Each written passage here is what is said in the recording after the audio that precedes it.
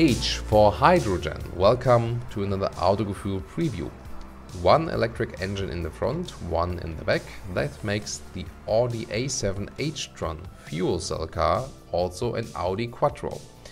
In fuel cell mode, the A7 Sportback h-tron Quattro, complicated name, needs about 1 kilograms of hydrogen for 100 kilometers.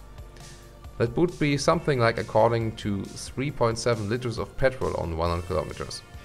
Overall, the approximate range of this car is 500 kilometers or 310 miles. As it is a hybrid, as the name says, there's also an additional range possible.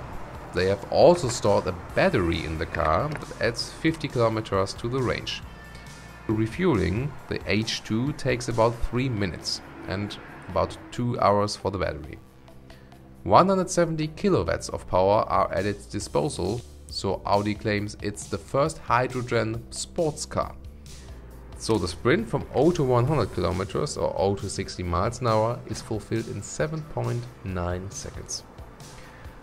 Audi technical CEO Hackenberg says they could launch the serial production process of the car as soon as market and infrastructure are ready for it.